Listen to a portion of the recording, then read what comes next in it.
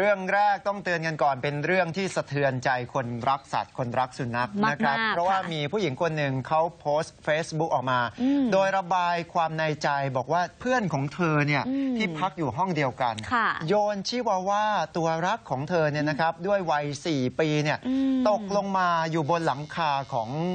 อาคารอื่นๆ ใช่คือเราไม่ได้โยนเออธรรมดาโยนลงมาจากชั้นห้าเออนะครับทำให้ชิวาว่าที่เธอรักนั้นตายนะครับ เธอก็บอกโอ้โหทำแบบนี้ได้อย่างไร แล้วก็เรื่องนี้เป็นกระแสวิพากษ์วิจารณ์ในโลกโซเชียลอย่างหนักพอสมควรนะครับ ก็เป็นเรื่องราวที่ถูกแชร์อย่างเป็นอย่างมากในสังคมออนไลน์กรณีนางสาวเมยานีสิทธิสุข ได้โพสต์ Facebook ช่วงเช้าเมื่อวานนี้ หลังจากสุนัขชิวาว่าวัย 4 ปีที่เลี้ยงไว้ ถูกเพื่อนร่วมห้องซึ่งเป็นสาวประเภท 2 โยนลงจากระเบียงหอพักย่านลาดพร้าวส่งผลให้น้องหลีนะฮะก็คือชื่อของสุนัขชิวาว่าตัวนี้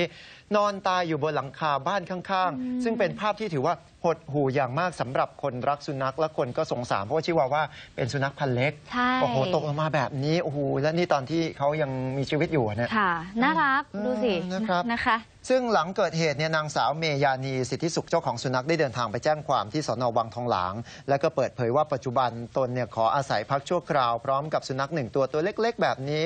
กับนายยลดาจำปาศรีซึ่งเป็นผู้ลงมือก่อเหตุ ซึ่งเมื่อคืนก่อนนะครับกลุ่มตนและก็เพื่อนรวมถึงนายยลดาเนี่ยได้พากันออกไปเที่ยวสถานบันเทิงแห่งหนึ่ง เหตุการณ์ทุกอย่างยังปกติอยู่เลย ไม่มีการทะเลาะเบาะแว้งใด ๆ แต่นายยลดาได้แยกตัวกลับมาถึงห้องพักก่อนอืมแต่แล้วเมื่อตนเองเนี่ยกลับมาถึงห้องพักขณะกำลังเดินขึ้นบันไดเพื่อนได้สะกิดให้ดูบนหลังคาบ้านข้างค่ะๆบอกว่านั่นนะเธอใช่สุนัขที่เธอเลี้ยงไว้หรือเปล่าอ๋อผลปรากฏว่าเธอก็จดจดจ้องจ้องๆมองยามกลางคืนแบบนี้ค่ะมองลงไปบนหลังคาแบบนี้ตกใจอืม ตกใจจริงๆนะครับอ่าปรากฏว่าใช่อ๋อเออเป็นน้องหลี เป็นน้องหลีนะฮะค่ะจึงรีบขึ้นไปที่ห้อง ปรากฏว่าห้องก็ล็อก และมีสิ่งของเครื่องใช้ส่วนตัวของตนเนี่ยถูกโยนออกมาหน้าห้องเหมือนกันอืมขณะเดียวกันก็ได้เคาะประตูเรียกนายโยลดาเพื่อสอบถามเหตุการณ์ แต่นายโยลดาไม่ตอบ จึงตัดสินใจโพสต์ Facebook ตามที่ปรากฏเป็นข่าว เราฟังเสียงของเออเจ้าของสุนัขกันหน่อยฮะมาถึงประมาณตีสามห้าสิบเจ็ดเพื่อนสะกิดให้ดูว่า ตอนที่เดินขึ้นหอเพื่อนสะกิดให้ดูว่า นั่นน้องหลีหรือเปล่า ก็เลยชะโงกหน้าต่างออกไปดูปรากฏว่าเจอน้องตกอยู่บนหลังคา ตอนนั้นขึ้นอยู่ชั้นประมาณชั้นสามค่ะ เห็นน้องอยู่บนหลังคา ก็เลยตกใจก็เลยวิ่งขึ้นไปห้องห้องเพื่อน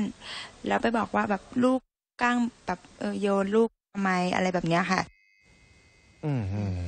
นะครับขณะเดียวกันผู้ก่อเหตุก็คือนายโยลดาจำปาศรีก็ได้เดินทางมาที่สอนอวังทองหลางเหมือนกันยอมรับด้วยนะฮะว่าทำไปด้วยความเก็บกดแล้วก็โมโห